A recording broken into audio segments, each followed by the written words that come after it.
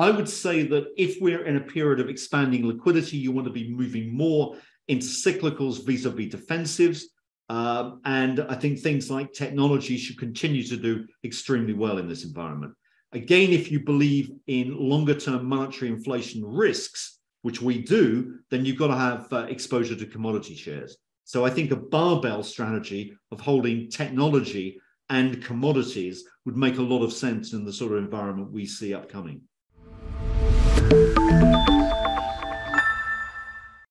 Welcome to Wealthion. I'm Wealthion founder Adam Taggart. Thanks for joining us for part two of our interview with liquidity and market expert Michael Howell.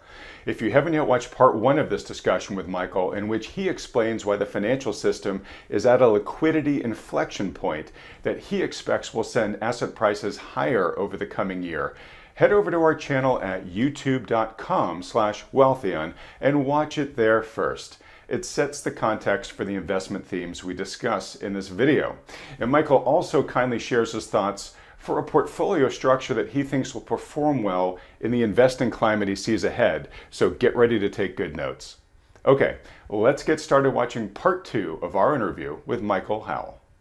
If this is the time, and again, don't let me put words in your mouth, but if this is the time to be greedy when other, others are fearful, uh, and to start re-entering the market um, when when you know folks are still worried about where things are going, and hopefully that means you're getting better values today than you'll get tomorrow. Mm-hmm. How how do you think uh, this is best played? Um, you you mentioned a couple of of assets like precious metals and cryptos and and, and the high tech high growth tech stocks. They move first, so they've already started to respond. Yeah. Uh, is it still good to ride those guys, or have they played out here? Is it time to be focused on other parts of the asset Let mix? Me, this is this chart here you can see is basically, or hopefully see, is looking at what we call monetary hedges and the global liquidity cycle. So it's pretty much like um, the the previous chart that you were looking at, which was global liquidity. But this one is basically looking at what's happening to the values of crypto and gold uh, together as a universe in orange and the global liquidity cycle here in black but it's showing that actually monetary inflation hedges move very closely with the global liquidity cycle, which is why you know we can be more confident the liquidity is picking up because you're seeing this companion increase in those asset classes. If you're going to get further gains in global liquidity, what you're likely to see is further gains in uh, in these uh, assets like crypto and gold. That's for sure. The next thing I think to look at is the impact that liquidity has on the treasury yield curve.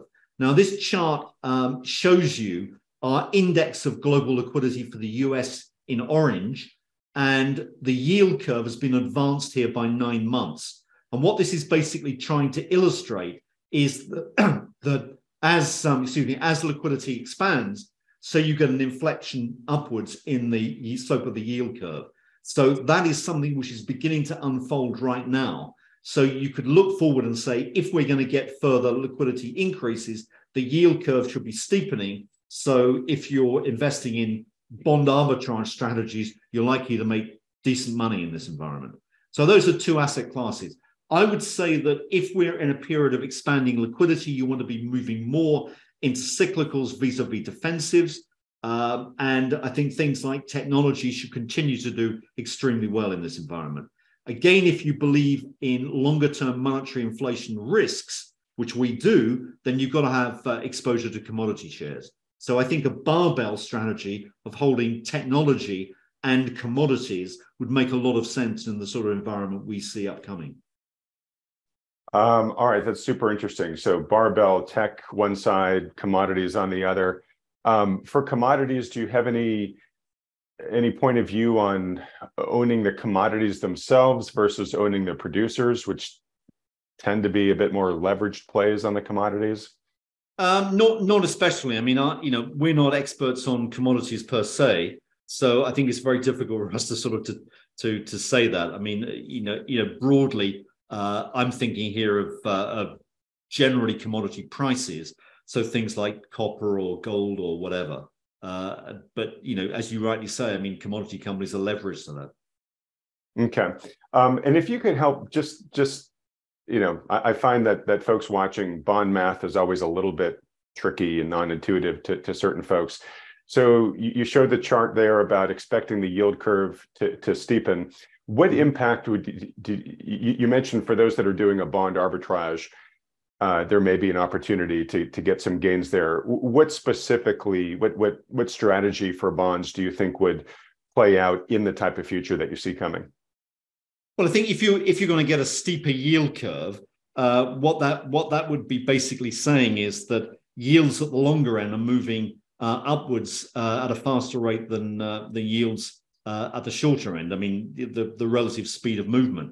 So, in other words, the yield curve is beginning to steepen because that longer end is going up faster. So, you want to be shorter uh, of that of that area and longer at the short, have more exposure at the shorter end in that regard.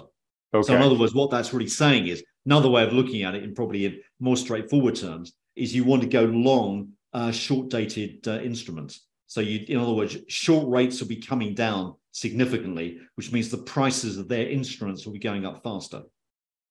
Got it. That and it does make sense, and it, it, it, one of the reasons why I just wanted to dig into that is we've had some experts on the program right now say that uh, they think that the the bond market is is is actually quite attractive right now um, because they expect uh, some sort of a uh, you know, uh, some sort of event, some sort of breakage in the system that's going to make capital flood into, and they're talking mostly sovereigns here, uh, the you know treasury bond market, the longer end of the curve, and so um, uh, you know there are some people saying this is a really good time to start going out long duration uh, on on the bond curve. And what I hear you saying is is that's not what your models are Correct. saying. Your models are basically saying the opposite. Yeah, exactly right. You don't. I mean, I don't think there's any point in owning the long end of the bond market, particularly. I mean, this we keep saying this is the stage of the cycle where long dated debt does not perform particularly well. Doesn't perform badly. Let's be clear about that. You get moderate returns out of out of fixed income, long dated fixed income around this stage of the cycle. The best stage of the cycle for fixed income, uh, longer dated, is much later in the cycle than where we are now. This is the stage where you start to get the yield curve beginning to steepen, but you want to make you're going to make more money at short dated. Uh, you won't make a lot of money, but you can, you'll make more out of buying short dated instruments, uh, expecting their rates to come down. The long end won't move much, and the reason the long end won't move much is that, and this is going to get in terribly wonkish territory, but mm-hmm. because term premia are hugely negative right now in the system. And that's what, you know, a lot of these optimists about bonds are not really figuring, figuring. Why is it the term, you look at ter- term premium, the risk premium that you hold in a bond uh, for interest rate risk over the lifetime of the bond, okay? So it's unexpected movements. Now, that term premium is skewed significantly by an excess demand for collateral by some of the big financial institutions. And they have to own um, this debt for balance sheet reasons. And it's me, uh, things like Basel III or Solvency II, people would have heard of. These are requirements that the banks and the insurance companies need. And longer dated US treasuries tick that box. So they tend to buy them. Now there's a shortage in the system of that, of that good collateral. Okay. And that's what's driving term premium down, excess demand for that uh, in the system. So what you've got now is a huge, huge anomaly, which gets very little commentary. And that is that term premium in the US are not only negative, but they're at their lowest, almost at their lowest ever level in 60 years of data. Right? Wow. That sticks out like a sore thumb. And that I think can term premium can only go up from here, not down, or the odds are uh, that's true. I think my my camera is playing tricks. Here. I was just about to mention that. I don't know what's happening, but anyway, um, maybe that's better. All right, uh, that is better. I think we got it. I was just about to, yeah. You, it was just all of a sudden you were on the corner of the screen and it was losing its focus on you, but it's good. The quality of what you were saying was so riveting. Nobody's going to know. um, okay. Let me know when you're you're ready for one last question on this. No, it's fine. You go for it. Okay. Um, all right. Well, look, one last question for you here on on bonds, Michael, which is um, uh, several of the recent experts on this channel. I have asked the question: Do you believe the peak in bond yields uh, is in uh, is behind us at this point? And increasingly, uh, the number of experts that I've talked to recently have said yes, they they they would not be surprised if the peak in bonds was behind us. Um, I'm intuiting from what you've been saying that you might have a different answer to that, but I'm again, I don't want to put words in your mouth. So, what do you think? Well, I think I think it's possible. I mean, I'm not. Uh, I would be more hesitant of that. I think the you know the issue is is that a bond uh, that uh, if you take the 10 year bond yield, it consists of two moving parts. One is the term premium, which is abnormally low, and the other is uh, a rate expectation, which is abnormally high from recent over recent experience. Mm-hmm. And I would be absolutely confident that that rate expectation term comes down, but I would be hesitant about saying it comes down dramatically because I don't think the Federal Reserve will want to uh, slash rates in the way that people are suggesting. Because if you slash rates, you're back in the old problem of incentivizing debt again. And that's what we want to avoid. We want to avoid debt uh, at all costs, taking on more debt. On the other side of the ledger, the term premia is at rock bottom levels and I think can only go up. So, my view for the bond market this year is it's in a trading range. Uh, it's a wash, in other words. So, I think that you're going to get reasonable returns out of bonds, moderate returns, but that is pretty much the carry in the uh, you know on the coupon. You you might get. I don't think you're going to get much more than that. I think you're going to get much capital gain out of it. You might get a bit, but I don't think much. Okay. So it, it does sound like you, you see more opportunity both in the equity markets and yeah. on the commodity side of things. Um, in terms of sort of magnitude of what you expect, you know, given the turn we're making here, um, w- when would you sort of expect to see like the S&P hit new highs? Is that something you'd see this year given the type of move you're looking at or will it take longer than that? I think we I think we could do it this year for sure, yeah. I mean, we're not. What are we now? I'm trying to think what the math is. It's probably probably eight percent below the peak. Uh, where are we? We're like I'm 41 something right now. The peak was what around 46 ish or so. Yeah, so about that. Yeah. Okay. Um, so, so again, quite probable. You, you, you, you are, I, I believe, more sanguine than most of the the guests that have been on this program recently, and it's been fascinating to understand why. So again, you you the message I'm getting from you is don't be overly fearful here. This is probably a time to sort of start dollar cost averaging in as you're taking advantage of what you believe to be better values today than we'll see at the end of the year. And that, you know, increasing your long exposure, maybe in a barbell style, like you're mentioning, um, you know, should should pay dividends as the year progresses and and and those tailwinds become even stronger.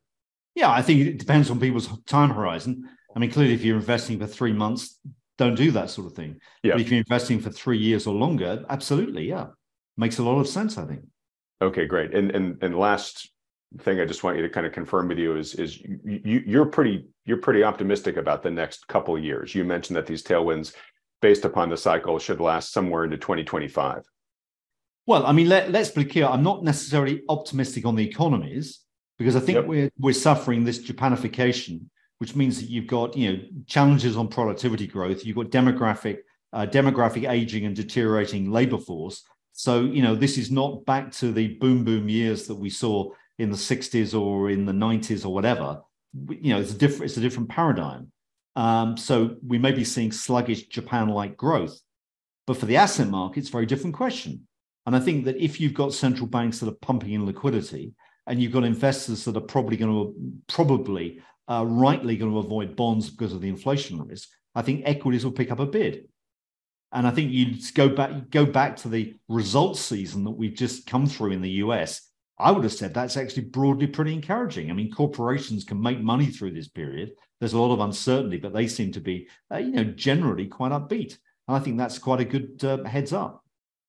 All right, great. Well, one of the things I've been saying a lot of this channel is, is, yeah, a lot, a lot of our guests have been relatively uh, pessimistic about the prospects for the economy, and I would say most of them for the markets in terms of their outlook for this year. Uh, I and many of them have said we can't wait till we get to the point in the cycle where we can start telling a more bullish story. I'll say you're one of the earlier bulls here uh, to come on, but you've given us a lot of you know very compelling reasons why. Um, let's hope that your outlook indeed proves out here, and and this channel is all about helping people build wealth, and you're you're basically pointing a direction to say, hey, this this looks like a way that we can do this over the next couple of years. Uh, so, anyways, Michael, let's wrap it up here. Thank you so much for giving us so much of your time, for staying late uh, in your offices in London to have this conversation with us. Pleasure. For folks that have really enjoyed this conversation, maybe this is the first time they've they've heard of you, or maybe the first time they've been able to listen to you at length like this. Um, for those folks that are interested in following you and your work, where should they go? We've got a website which is crossbordercapital.com, and we've got um, uh, a Twitter feed, Crossborder Cap at Crossborder Cap and if you want to, if you get sleepless nights and you want to read a book about all this, uh, it's called uh, Capital Wars. It's available on, on Amazon, uh, published by Macmillan Palgrave. Fantastic. Michael, when we edit this, I'll put up the URLs to your website, your Twitter handle. We'll put uh, a image of your book on the screen when you're mentioning it there so folks know exactly where to go. Um, this has been a really interesting discussion, Michael. Again, I really appreciate you taking so much time to walk us through all this in detail um, and for giving so much of your time again late in your day. Really hope uh, you come back on the channel at some point uh, in the future. If you're open, maybe in a quarter, we'll give you a chance to come on and kind of give an update as to where things are based upon what you share with us today.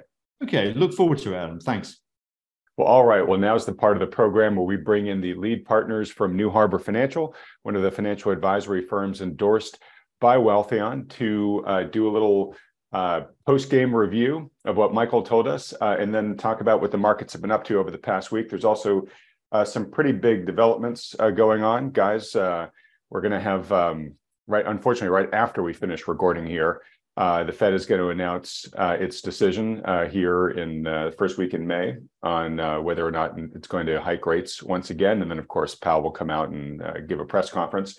Uh, we'll deconstruct that for folks next week. Uh, but as usual, I'm joined here by John Llodra and Mike Preston. Guys, thanks for joining. Uh, Mike, why don't we start with you? Um, what did you think about Michael's uh, interview there? Uh, you know, a little bit of a different tune than many of our recent past experts. He definitely is a little bit more optimistic with his whole, you know, liquidity model here, thinking that we might have just started a multi-year bull run. Hi, Adam. Uh, thanks for having us back. Like usual, uh, I enjoyed Michael's talk. Michael is with uh, Crossborder Capital in London, I believe. And you know, Michael is very bullish, and it's nice that you have some different perspectives on this program. Both uh, people that are cautious about the markets, but uh, but but but also ones that see some uh, bullish slants. his argument, Michael's argument, is about liquidity. He says that liquidity bottomed in October of 22, really kind of on the heels of the Bank of England, uh, England reversing uh, and uh, it's tightening, and, and that was because of the gilt crisis. So they basically reversed course and uh, you know started their liquidity program again. And he then says that other central banks have followed suit after that. And there is some truth to that. And we've seen we've seen the S and P really bottom in October, and it's been on a pretty relentless upswing since then. However, the bigger picture that we really didn't focus on, uh, or that I didn't hear too much in, in his talk that we really are worried about is the, the macro environment of supreme overvaluation. Uh, markets are very overvalued. In fact, they're they're more overvalued than they were at the tops of the very tippity tops of other times in the market that were very severely overvalued, like uh, 1929 and the very peak of the tech bubble. So um, we we can't forget that. He he offers some other very good arguments too that um, could cause more liquidity come into the markets. Like for instance, oil. Looking at oil right now, it's having another big down day. It was uh, down yesterday. It's down again today, trading at around sixty-eight dollars a barrel. I mean, it was it was right around hundred dollars not too long ago. You know, and so it's been on a pretty steep downtrend. If that continues, that could cause some liquidity. Um, but the big picture with the with the markets is this: the S and P is up seven percent year to date but it's down 14% from its all-time high. The Nasdaq has been the leader, up 20% or so year to date, but down 23% from its all-time high. These markets topped sometime in November of 21 through January of 22, in our opinion, and they're still early on in a very, very, uh, in, in my opinion, slow-moving bear market. And the risks are certainly to the downside, we believe. Um, he, he is bullish not just on equities, but on commodities, real assets. Uh, we've been long-term believers in gold and silver and the mining companies. In fact, we think the commodities will do very well over the entire next 10 years, maybe more. And so we'd be looking to add exposure to commodities on any weakness. You know, frankly, right now we're looking at the oil sector. I mentioned oil just a minute ago, trading at around 68. If we see the bottom fall out of the S&P like we think can happen, and we still think the S&P could have an elevated drop down to about 3,200 or so, we'd be looking to opportunistically buy in the oil sector. Uh, we could see prices 10 to 20% below current prices pretty, pretty rapidly, and that would be a good time for a hedged entry, in our opinion. So I will pause there uh, for, for just a moment. There's much more in the talk that we can that we can comment on.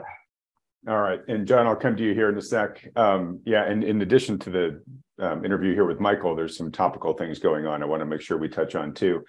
Um, but it is really interesting. Um, you know, when I first started hearing Michael talk about liquidity, I, the challenge I had in my mind, which I'm going to guess maybe other listeners did too, was wow. Um, you know, it really seems like from everything we're reading about, uh, that liquidity is getting tighter uh, right now. Uh, and of course, you know, I, I, asked Michael near the end how he defines liquidity, and and not everybody is is measuring it with the same yardstick. Um, but uh, you know, we we we are on the tail end now of of the better part of a year.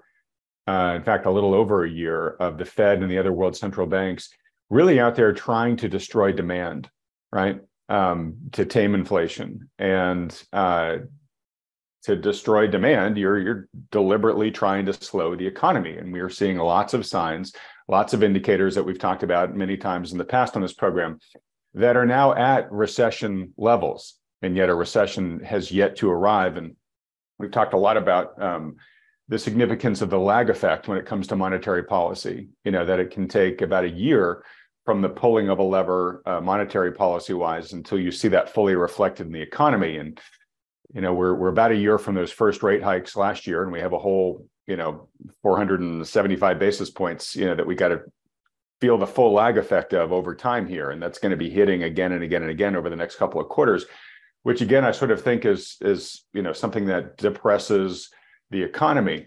Um, and so i guess the big question i have is i mean it's hard to argue with his data right? He's got that that um, chart of liquidity changes in liquidity and he overlays that with uh, sort of that sine wave of what happens with asset prices.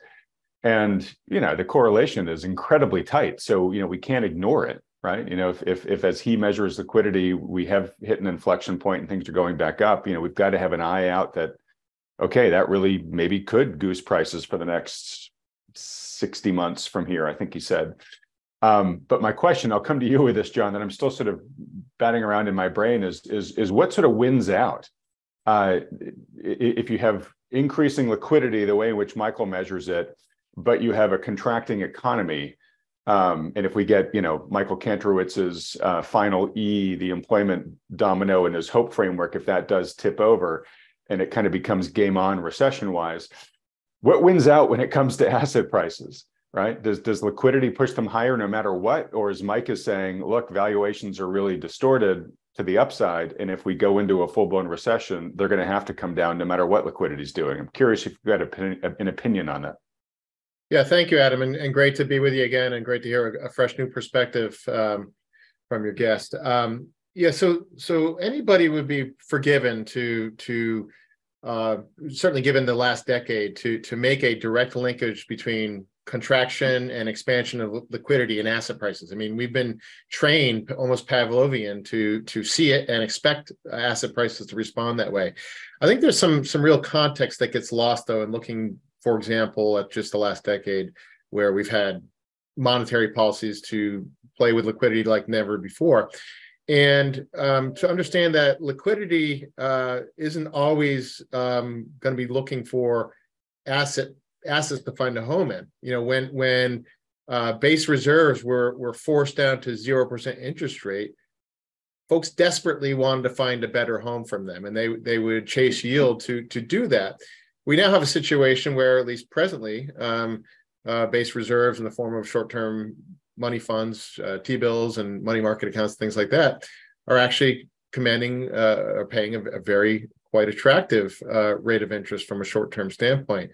Um, you know, so there isn't that same compulsion, I think, that perhaps existed in in the wake of the housing crisis that you know press liquidity and and immediately finds a home and and asset prices. Um, you know, people, and, I, am going to kind of relate back to a, a, quote from from Darius Dale in, in last week's video. You know, you know, basically the the notion that people there's a difference between bearish and there's there's a uh, between being bearish and being scared. And I think we're seeing um, some some fear starting to creep into the markets about the banking stresses, which quite clearly, and we'll talk about this, I'm sure, uh, in, in, more detail. Um, th- this notion that it's it's it's behind us, I think, is very naive, and we've we've even heard some folks like former Fed uh, officials, you know, come out and say we think there's a lot more going on here than than perhaps we were expecting. Um, so so there's a fear factor and, and we start to think of liquidity as as collateral. And and uh, you know th- there's a there's a, a, rush to collateral whether it's because of the banking issues and you know there's this big uh, storm cloud that has all the markings of of yet to come and and be a real problem in the commercial real estate market that that that shoe has really not yet dropped. It's it's almost seemingly out there and and people know that it's a problem and likely will be a problem. But so so i i would i would challenge the the knee jerk reaction that that even if we are seeing more liquidity coming into the system that it doesn't mean that liquidity is is an inferior place to be. You know sometimes when you're holding 0% cash it's an inferior place to be compared to other things uh, when you're holding cash that's yielding 5% it's not an inferior place place to be, especially when there's this fear and, and legitimate fear about um, the need for safe collateral and uh, and uh, you know implosions of things like commercial real estate. And then I'll just point to two two realities. I mean, you look at the, the tech bubble collapse of 2000 and the housing bubble collapse. Uh, prior to quantitative easing, um, the Fed's policy to, to make conditions tight or looser was to drop the interest rate. But in both of those instances, their rapid drop of the, the short-term interest rates did nothing to stem a massive sell-off over a short number of months in, in the stock market. So I think it's really we got to be very careful to, especially in the overvalued stock markets. Uh, assume that it's just quite that easy. And I, you know, we we very much believe that valuations do matter, and and we're likely to see um, liquidity not be this quick, uh, you know, salve and and uh, back to the races uh, impetus that we've been trained to think is is destiny uh, over the last decade. Well, well, well said, John. And you touched upon a couple things there that um, I want to tug at here. Um, you know, one part of liquidity is, um, you know, banks providing uh, loans out there, right? You know, to to spur economic activity. Um, we we have uh, tightening lending standards across the banking uh, sector right now. Uh, they were tightening coming into this year to begin with, but then of course we had the bank failures. Uh, we just had a brand new one last week. Uh, First Republic Bank finally bit the dust. And so I think we've had three of the four largest bank failures in US history in the past two months. Um, so understandably, banks are even more conservative with their lending right now. Uh, Jerome Powell has actually talked about this. He said that that acts as additional rate hikes on top of what the Fed uh, is doing. Um, and uh, um, uh, you know, big questions about you know uh, what the ripple effects going to be and, and how much tighter is that going to be? Um, but certainly what it's doing is it's it's reducing liquidity getting out into the real economy. Uh, you mentioned that uh, some former fed uh, officials were were you know of late recent uh, raising warnings. Uh, we just had today former Fed President um, Kaplan said that the bank pain is just getting started, and he's really urging Powell to pause, not even hike rates at, at this point in time. Um, we're going to find out what what Powell and the folks at the Fed decided to do in about an hour or two, like I said. Um, but uh, you know, you've got the high-ranking former officials at the Fed who are now really, you know, getting worried, right? Um, but the other complicating factor, which I think you gave a quick nod to, is uh, you know you have you have money that's now flowing out of the banking system uh, in addition to the tightening uh, lending standards because uh, deposit holders can get better returns on their cash by putting it in a brokerage and a money market account there or buying T-bills. Uh, and we've been talking about this, you know, for for a number of weeks, months now on this program. Um, this is kind of like Gresham's law, right? Money's just going to where it's better treated. So it's it's fleeing, you know, those deposits are fleeing the banking system. And of course, that just makes the smaller players even more vulnerable. Um, so uh, I guess maybe I'll, I'll, I'll just go back to you real real quick here, John. But like, you know, we have this confluence right now that just seems to be continuing to sort of tighten the screws on liquidity, at least inside the banking system here. And again, I, am not trying to contradict what Michael was saying. And again, he sort of has his own way of, of calculating it. But it's it's hard for me to see in the short term that that's not going to drive more of the action um, than um, than uh, whatever new liquidity is coming in. And as Michael, you know, from his expectations, he said it takes uh, about uh, three to nine months from uh, the, the, liquidity cycle leads uh, the stock market by three to nine months, or leads asset uh, asset prices three to nine months. You get your your on, on the, the three month end, you get your most interest rate sensitive um, assets like precious metals and cryptos, like you said but by nine months you you get you know the general market and and we are getting close you know we're on our uh, probably two months away from nine months from the october lows so it's going to be really interesting i guess we should find out pretty quickly whether michael's liquidity you know wins out or some of those um those you know liquidity crunch factors that i just mentioned um play out here but but i'm curious this whole you know continued weakness in the banking system and uh, more and more capital fleeing for the higher rates of uh, T-bills and money market funds.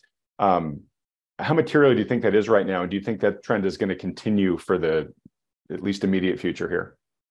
I think it's huge because it, it speaks to a psychological shift that we're seeing in clients and prospects that we talk to, but you also see it in, in the markets. Um, you know, so much of of this kind of linkage of liquidity to asset prices is a psychological component, right? I mean, you know, the last decade, uh, the psychology was I'm being punished by holding money in in liquid reserves, so I, I got to go chase other things, right?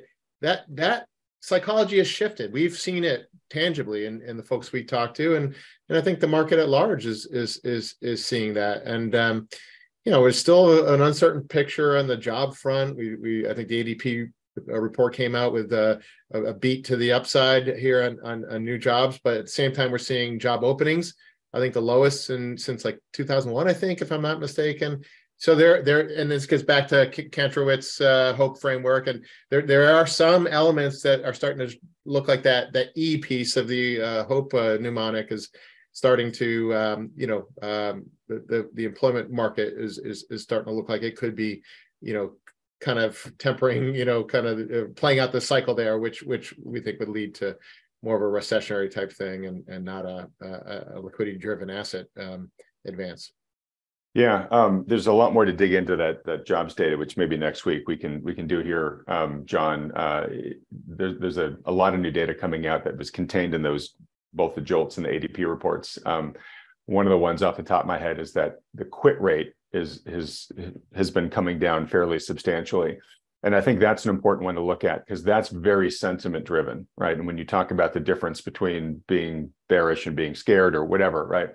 Um, quits are a great indicator of, of sentiment, right? If people are feeling confident that, hey, I can get another job anytime I want, you know, quit rate obviously goes up and it's been you know near record highs, if not record highs, for much of the past couple years. That's beginning to fast cool, which I think is you know an important indicator that all of a sudden the the consumer, uh, sorry, the, the worker is feeling increasingly less confident. Um, and I, I think once we start hearing uh, from employers, you know, the the the narrative is still, hey, it's really hard to find good, um, you know, it's really hard to find good workers. It's hard to fill our open positions once we hear that tune start to change, like, oh, you know, actually, we're finally being able to fill our positions, or hey, it's not nearly as hard to, to get a good worker as it was. That I think is is really the game on to say, okay, that that last domino, that E in the hope framework is probably going to shift. Um, all right, Mike, coming back to you here. Um, I guess we should talk just for a second about the the Fed meeting, even though you know we're not going to know the result once folks are watching this video they're going to know what the result was and like i said we'll dive deeply into it next week folks um, but uh, even with uh, with kaplan there uh, urging Powell to uh, to pause. Um, you know, I'll put my hat in the ring, and I, I, I've said this multiple times the past two weeks or so. I think we get one more hike. I think we get a, a 25 basis point hike here. I think that's probably going to be the last hike that the Fed makes. Um, you know, I, I, I think CPI has been coming down. It's seeing the progress that it needs on inflation. It's seeing all sorts of cracks in the system. You know, the banking woes being a really, you know, key one of those. Uh, so I think I think it's beginning to worry that hey, if we keep being too aggressive here, we could really create some systemic instability here. Uh, uh, also, with those additional um, bank tightening lenders, like I said, the, bank, the the Fed is thinking uh, is is looking at this as okay. The banks are starting to do some of our work for us as well. So my sense is that we we will most likely switch to pause after this one. I'm not sure if that Powell's going to say he's going to pause today. I'm not sure he's going to announce it, but my guess is he'll probably say, you know what, given all these factors, we're going to be very data driven and we're going to take a wait and see approach. And you know, I'll let you know at the next Fed meeting what we decide to do. Uh, but but just to stick my neck out, I'll say this is probably the last one we see for a good long while. And um, I think uh, Powell will, will then start his. All right, I'm going to pause for the end of the year campaign. Of course, we'll debate. I think for a long time whether he'll be able to do that. But I, I think that's what starts here. Curious to get a sense of what you think. Yeah, obviously everyone in the world likes to guess at what the Fed's going to do, and and um, the, the Fed doesn't really want the market to be surprised. I don't think it's pretty pretty common consensus that the Fed will raise rates maybe uh, 0.25 percent or 25 basis points today. Uh, it's probably what they're going to do. I wouldn't expect Powell to say I'm not going to do any more. I don't think he wants to give that kind of certainty to the market. I think he wants to keep some tools in reserve. But to my opinion, I really don't think that there's a risk of Powell creating a disruption in markets by saying something or by hiking too little or too much. I think the disruption in the markets is there, and it has been there for years. It's really a uh, it's a result of 10 years of quantitative easing, more than 10 years now. So, I mean, the reserves that are in the system are just massive. You know, they're just massive. the, the, the Fed's balance sheet up around 9 trillion or so, starting maybe um, just under 1 trillion 10 years ago. Um, you know, bank reserves are, I think, around 3 trillion right now, which we're paying. The Fed is paying 5% interest on excess reserves. I think that's quick math, about 150 billion a year that they're paying um, you know, member banks on excess reserves. They're earning only about two and a half percent or so on average on securities in their portfolio. They're probably losing if they were to mark the market, you know, seven, I'm just, I'm, I'm guessing here, 75 billion, 100 billion a year.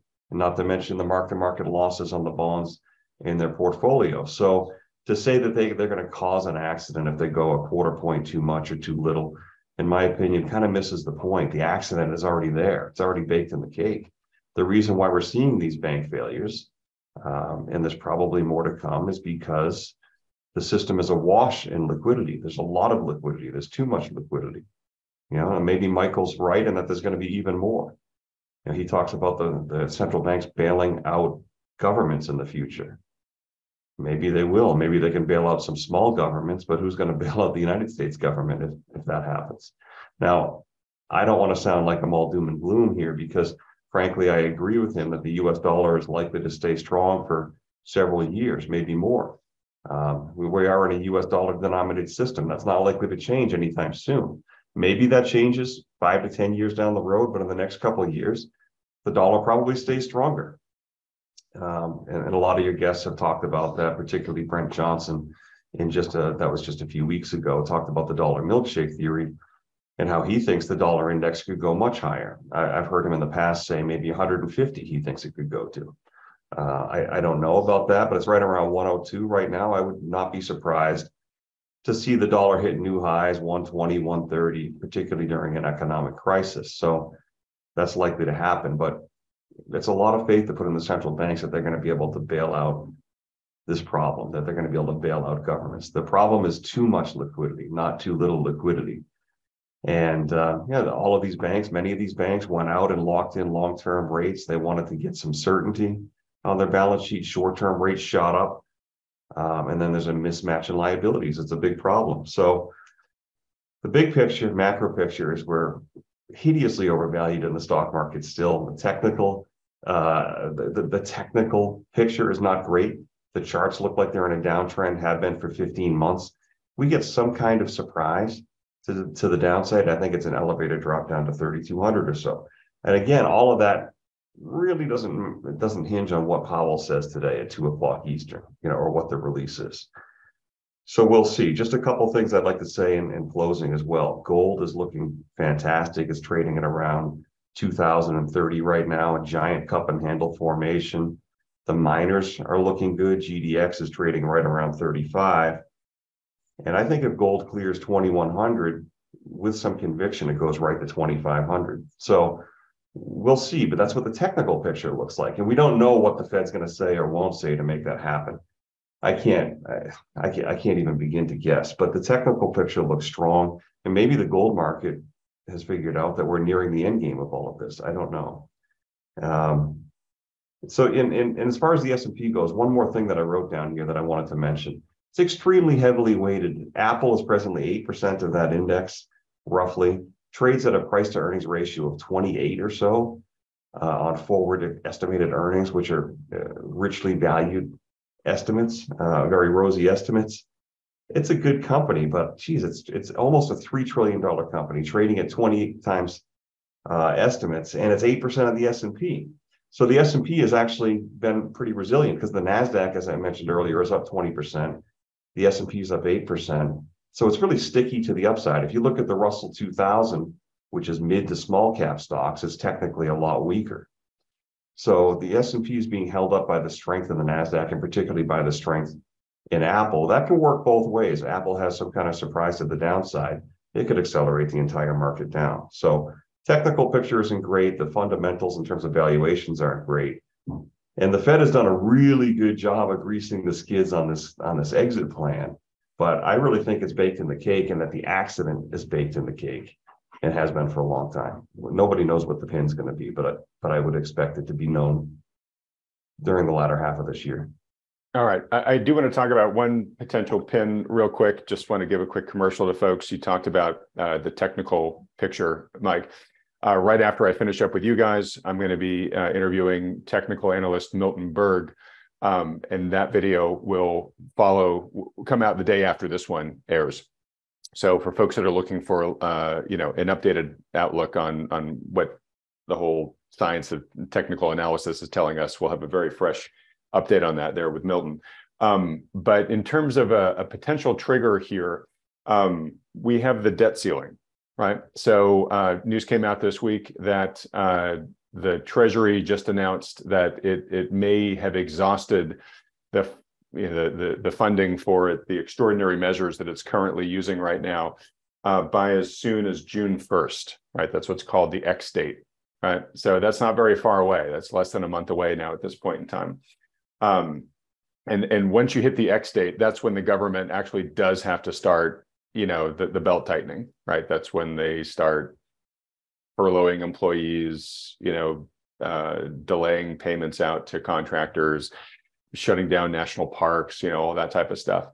Um, and so, uh, you know, like as we, we, sort of talked about this a little bit in the past, right? I, I, don't know anybody that doesn't think that the ceiling isn't going to eventually get raised. Uh, it just seems like the repercussions of that would be far too nuclear. But it doesn't mean that we're not going to have a lot of uh, drama between now and then, um, a lot of political theater. And, um, you know, the Republicans are talking a pretty, you know, mean game in terms of uh, concessions that they want. Uh, they just passed a plan last week that um, apparently, you know, we read the articles, uh, is declared dead on arrival uh, when uh, when it gets to the Senate in terms of um, what the Republicans are asking for, and, and of course the, the Democrats have uh, control of the Senate, so they can shoot that down. Um, so uh, it doesn't seem like the sides are very close together right now, is what I'm saying. And so uh, the question right now is sort of how much will the Republicans hold the debt ceiling uh, hostage, you know, uh, over the next month plus on this, right? It's happened in the past right? The government is technically shut down, uh, you know, over an impasse on the debt ceiling uh, prior. I'm trying to remember when that happened last, uh, 10 years ago or something like that. Um, so I'm curious to see if you guys have uh, ha- have any thoughts about that. But but I, I definitely can see potential that, uh, and I just read an article about it this morning, which is that the Republicans may stick to their guns long enough that uh, the market, you know, starts getting really worried, and uh, they'll use a market drop and, and the fears and concerns around that as a forcing function to force the Democrats to come to the table with them and at least, you know, eke out some concessions of what they want. I think they know they're not going to get everything that they're asking for, but they might use that that market pain uh, as a lever to get the Democrats to agree to some concessions. Um, John, I'm just curious if you have any thoughts about this. Oh boy, that's a that's a realm of crazy that that I I don't have uh, any expertise uh, more than the next guy or gal. Um, you know, I think we know that politicians will go to great lengths to uh, play chicken for political points. Um, I, I think at the end of the day, it, it, they're going to do what they always do. They they'll they'll create some drama and they'll come to some some uh, agreement where each side claims victory and the other, you know, getting the other one to concede on things, and uh, you know, it's basically political theater. Um, but yeah, I think there very well could be um, financial market um, reverberation, you know, uh, uh, reverbs going through uh, in relation to that. Um, and, and, in fact, it's political uh, 101 to create um, create uh, uh, crises to to get your way, right? So so I, I, I have little doubt that that it's going to be a, a, political theater that's going to be frustrating for us all to watch, and the markets will probably be frustrated with it too. Yeah, to, to me, it just seems like you know we, we've got so many other things that are kind of keeping the market on its heels right now. Um, or I shouldn't say keeping it on its heels because the market you know is is higher than it was when it started the year, but th- th- there's so many potential destabilizers out there. We've talked about a number of them today that to have sort of this one in the mix just just isn't helpful right? It just it just increases the probability that something might end up you know going in a direction that nobody intended and then it might be kind of hard to stop uh, to stop right? Um, so anyways n- not we don't know. We'll be tracking it closely on this program for folks but it is another risk factor that we kind of don't need right now and it's one that does have some probability that there's you know, there's a political incentive maybe to create a little bit of market instability here, right? So uh, we'll see if they actually play that card or not. Um, all right.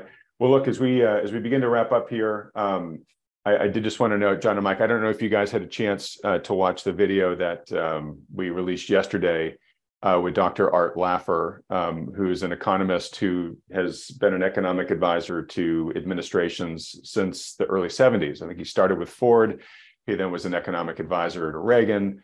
Um, he's advised, uh, I think, almost every president since in some way, shape, or form. Um, really fascinating conversation. Um, folks, if you haven't watched that, I'll put up a link to it here. It's getting really great reviews. Um, uh, it's a really interesting, it's an engaging, he's a really engaging speaker um, and a fascinating guy. But it's he's got some some I think really interesting and thought stimulating policies that we discussed. Um, but again, I, I, really value hearing the perspective of somebody who, you know, is in the mix and has been working with a lot of the people that have shaped economic policy and national policy over the past several decades. Um, the the punchline is that he's not very optimistic right now, given the current policies that we're pursuing. Um, and he doesn't see a lot of room for optimism unless we make some pretty drastic policy changes, which he's got some great ideas for. Not entirely sure we're actually going to do that though. Wouldn't wouldn't hold our breaths. Um, I did just want to note though at the end of the conversation, um, he did uh, kindly make some of his recent publications available uh, to Wealthion viewers. And so if you want to go read those, uh, just go to wealthion.com slash laffer and you can download them for free there. Um, all right, guys, we're looking wrapping up here. Um, just want to reiterate that you guys did a great job this week, as we do every week, of kind of painting the picture for why this is a challenging time for regular investors to try to navigate all this stuff on their own. And therefore, that's why we encourage people to work with a professional financial advisor who takes into account all the macro issues that you know Michael and I talked about and that you guys and I have been talking about here. Um, folks, if you've got a good one who's doing that for you, great. You should stick with them. But if you don't, or if you'd like a second opinion from one who does, maybe even John and Mike and their team there at New Harbor Financial, just go to wealthion.com, fill out the short form there, and you can have a free consultation uh, with these advisors. It doesn't cost you anything. There's no commitment to work with them. They just sit down with you. They evaluate your current, you know, unique personal financial situation, give you their best advice on what they think you should do. You can go off and do it yourself. You can give those notes to your existing advisor, or you can keep talking to these guys if you like. Um, it's just a public service they offer. Um, all right, guys. With that, um, uh, John, I'll let you have the last word this week. Um, I know you're talking to lots of people day in day out there. You you sort of gave a little hint earlier that that maybe sentiment is shifting a little bit, and people are are maybe becoming a little bit more concerned. But I don't want to put words in your mouth. But what's your parting bit of advice to mm-hmm. the viewers here based upon your conversations with the folks that are reaching out to you every day?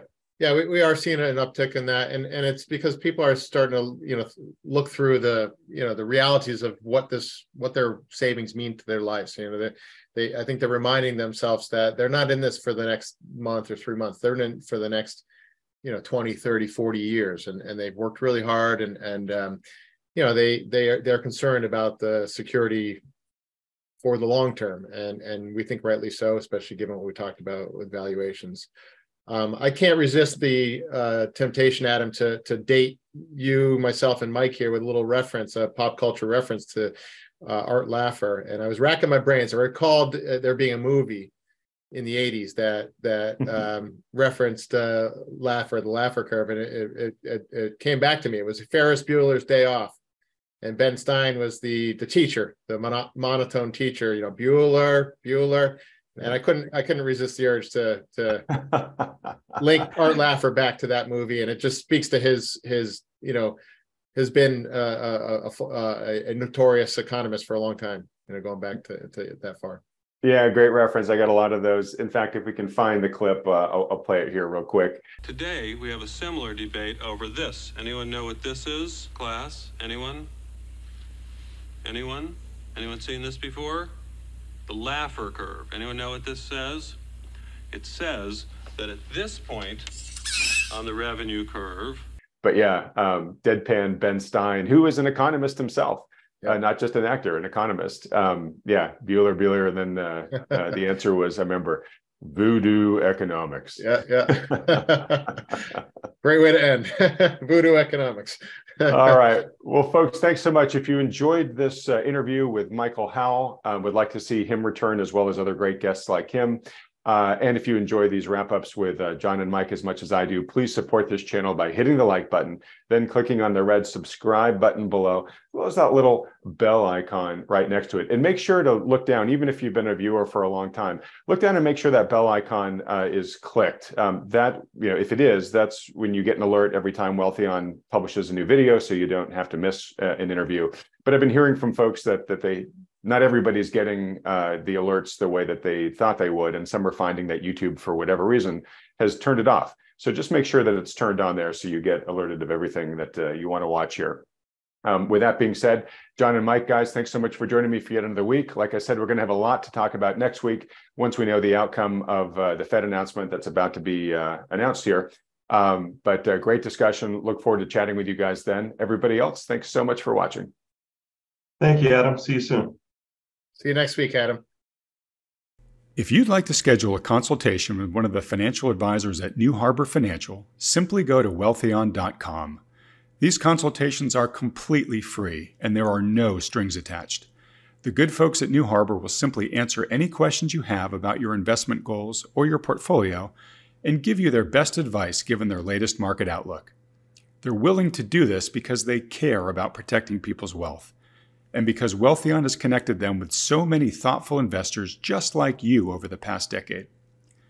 We started doing this because so many people have approached us in frustration, looking for a solution because they're feeling out of alignment or downright ridiculed by the standard financial advisors who have been managing their money.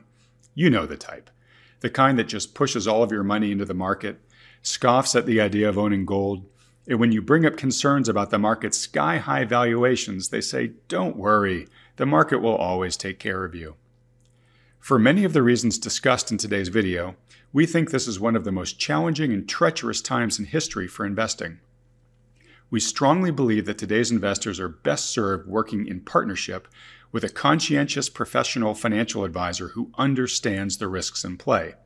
Now, we're agnostic which professional advisor you work with, as long as they're good. If you're already working with one, that's fantastic. Stick with them. But if you don't, or are having trouble finding one you respect or trust, then consider talking to John and Mike and the team at New Harbor. Now, for those about to ask, yes, there's a business relationship between Wealthion and New Harbor, which we've put in place to make sure everything is handled according to SEC regulations. All the details on this are clearly provided on the wealthion.com website. Also, it's important to note that New Harbor is able to work with U.S. citizens, green card holders, and those with existing assets in the USA. But for regulatory reasons, they aren't able to take on non US clients. All right, with all that said, if you'd like some insight and guidance on how to protect your wealth during this unprecedented time in the markets, go to wealthion.com to schedule your free consultation with the good folks at New Harbor. Thanks for watching.